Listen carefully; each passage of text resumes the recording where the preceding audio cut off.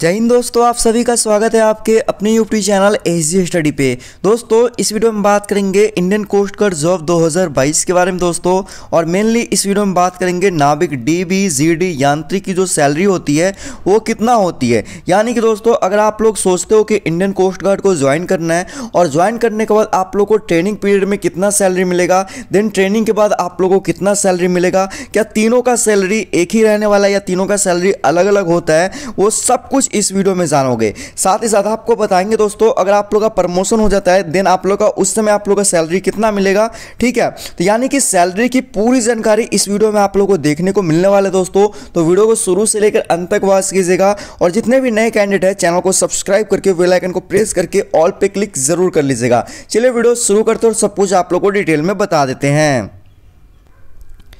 Video में आगे बढ़ने से पहले दोस्तों बात करेंगे अन अकेडमी के बारे में दोस्तों। तो अग्नि 2.0 19 डेज़ का एनडे का क्रैश कोर्स यहाँ पर दोस्तों 5 जनवरी से स्टार्ट हो रहा है और 5 मार्च तक चलने वाला है। यहाँ पर दोस्तों अन अकेडमी के टॉप एडुकेटर से आप लोगों को पढ़ने का मौका मिलेगा और इन्होंने लगभग पंद्रह सौ से ज़्यादा कैंडिडेट को दोस्तों एनडे के अंदर सिलेक्शन दिलवाया है, ठीक है?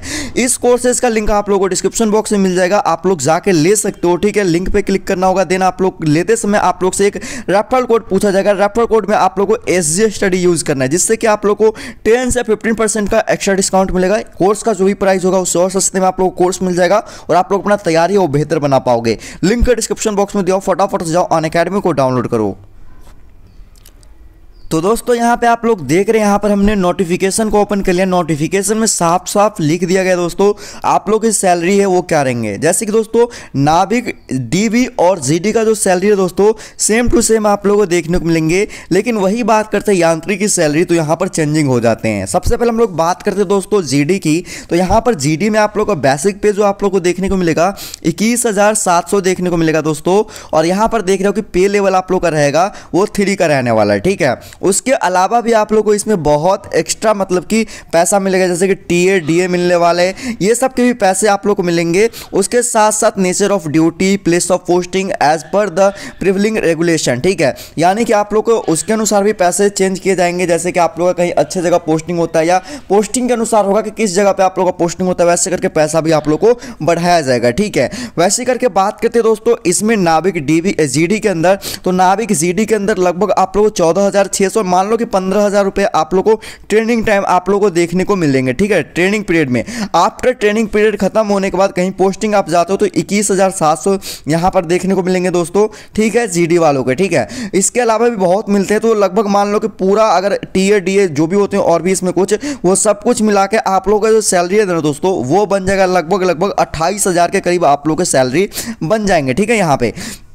चाहे वो गया वो जीडी या हो गया डोमेस्टिक ब्रांच दोनों के सेम है, ठीक है? ट्रेनिंग टाइम इनको भी चौदह हज़ार छः सौ के करीब पैसा मिलते हैं और आफ्टर जब पोस्टिंग हो जाएगा तो इक्कीस हज़ार सात सौ और मतलब कि जो भी टी ए डी है, सब कुछ आप लोग के जो हाथ में पैसा आ जाएगा, अट्ठाईस के करीब आ जाएँगे, ठीक है? अब बात करते हैं यांत्रिक के बारे में दोस्तों तो यांत्रिक यहाँ पर देखोगे तो इनका जो है बेसिक पे लेवल आप लोग देख रहे हो दोस्तों, यहाँ पर उनतीस यानी कि कहीं भी पोस्टिंग होगा भाई, उनतीस इनको मिलने वाला है, ठीक है? उसके अलावा भी यहाँ पर आप लोग देखो देखोगे तो इनको बहुत सारे मतलब चीज़ देखने को मिलेंगे। जैसे कि यहाँ पर देख रहे हो कि यू विल बी पेड यांत्रिक पे आर एस बासठ सौ plus dearness allowance and other allowances based on nature of duty और उसके अलावा भी इनको मिलेगा दोस्तों बासठ सौ रुपये और इसमें जोड़ लो, ठीक है? तो यहाँ पर आप लोग देखोगे ना इसका सैलरी तो लगभग इसका सैलरी जो होगा दोस्तों, पूरा हाथ में जो सैलरी आएगा, लगभग सब कुछ टी ए डी ए ये सब पूरा ऐड करने के बाद लगभग इनका चालीस हज़ार सैलरी हो जाएगा, ठीक है? समझ जाओ इनका, ठीक है? ये हो गया दोस्तों जब पोस्टिंग हो तो ट्रेनिंग टाइम में इनका लगभग सैलरी दोस्तों पंद्रह हज़ार प्लस ही इनका सैलरी देखने को मिलेगा यांत्रिक वालों का, ठीक है? तो यहाँ पर आप लोगों को पता चल चुका है, तीनों का सैलरी जो होता है सेम नहीं होता है, दो का सैलरी सेम होता है जीडी और डीबी का, बल्कि यांत्रिक का सैलरी अलग होता है। अब बात करते हैं कि प्रमोशन होने के बाद क्या सैलरी बढ़ सकते हैं।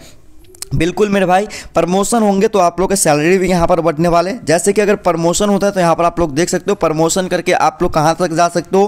प्रधान अधिकारी तक जा सकते हो और प्रधान सहायक इंजीनियर तक जा सकते हो, ठीक है? उसके बाद अगर ये बन जाते हो आप लोग तो आप लोग का सैलरी उस टाइम हो जाएगा सैंतालीस हज़ार छः सौ, ठीक है? ये हो जाएगा लेवल एट के तहत आप लोग सैलरी हो जाएँगे। उसके बाद छः हज़ार दो सौ आप लोग को एक्स्ट्रा देखने को मिलेंगे, ठीक है? उसके बाद टी ए मिला के आप लोग को लगभग यहाँ पर देखोगे दोस्तों तो लगभग आप लोग को यहाँ पर सात साठ हज़ार तक आप लोग के सैलरी जो है दोस्तों पहुँच जाएँगे। अगर आप लोग का प्रमोशन हो जाता है प्रधान अधिकारी या प्रधान सहायक इंजीनियर तक, लगभग साठ हज़ार तक आप लोगों को सैलरी देखने को मिल जाने वाला, ठीक है? तो इस तरह से कोस्ट गार्ड में आप लोगों को सैलरी देखने को मिलते हैं, जो कि बहुत अच्छा सैलरी है दोस्तों, आप लोग देखोगे तो।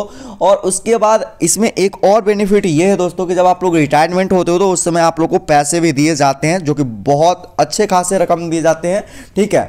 तो वो चीज़ आप लोगों को इसमें बहुत ज़्यादा बेनिफिट होने वाला है, ठीक है? तो बहुत अच्छा चीज़ है, यहाँ पर आप लोग देख सकते हो सैलरी को लेकर, क्योंकि जो भी कैंडिडेट मतलब कि जॉब करते भाई, देश सेवा के लिए जाते हैं, लेकिन उनको घर की सेवा भी करना पड़ता है, पेट भी पालना पड़ता है, तभी जाके वो लोग नौकरी की चाहत में सब सब कुछ करते हैं, ठीक है?